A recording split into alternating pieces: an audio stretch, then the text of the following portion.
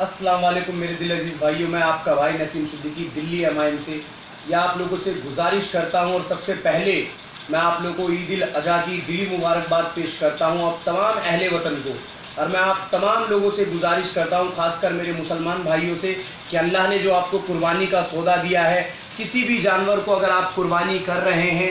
तो उस कुर्बानी को अल्लाह आपका कबूल करे, लेकिन उसकी ऐसी कोई वीडियो, ऐसी कोई फ़ोटो, ऐसी कोई चीज़ अपलोड सोशल मीडिया पे ना करे कि किसी धर्म या जाति को ठेस पहुँचे। अल्लाह ने जो आपको काम दिया, उस काम को इस तरीके से निभाएँ कि आपका काम भी हो जाए और आपका नाम भी हो जाए। लेकिन किसी भी लोगों के साथ ऐसी कोई भी चीज़ जो आप दूसरे धर्म या जाति के लोगों को ठेस नहीं पहुँचने चाहिए और अल्लाह का करम रहा तो इन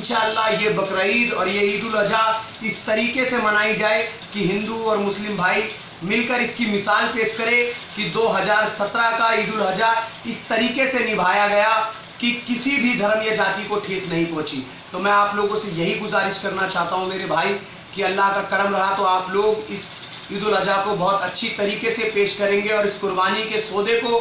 और किसी भी जानवर की कुर्बानी को इस तरीके से पेश करेंगे कि किसी भी भाई को, किसी भी हमारे गैर मुस्लिम भाई को ठेस नहीं पहुंचनी चाहिए। और मैं आप लोगों से यही गुजारिश करना चाहता हूँ, मेरे चाहने वालों से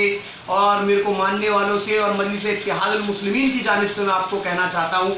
कि अल्लाह के वास्ते आप लोग खुशियों से इस त्यौहार को मनाएँ, जो कुर्बानी का सौदा अल्लाह ने आपको दिया है, उसको इस तरीके से पेश करें कि किसी भी भाई को ठेस ना पहुँचे। खुदा हाफिज, आपका भाई नसीम सिद्दीकी दुआओं में याद रखिएगा।